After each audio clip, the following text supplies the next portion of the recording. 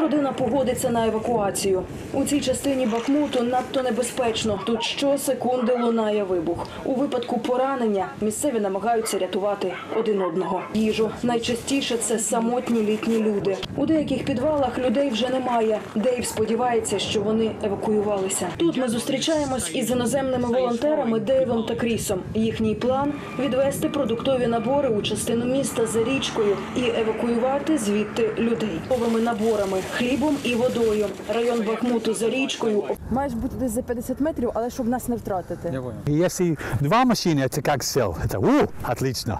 Но вообще нужно как дистанция. Вже 10 місяців Дейв евакуйовує людей із найгарячіших ділянок фронту.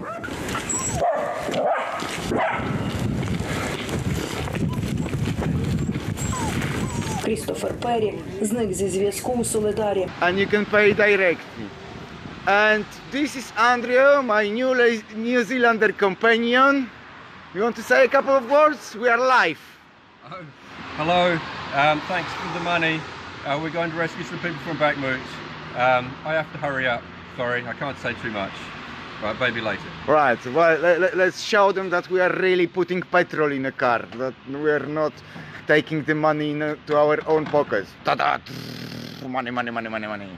Thank you very much. We're taking 30 liters of diesel right now. even know how to do this. I think they have. Right. Take care, guys. See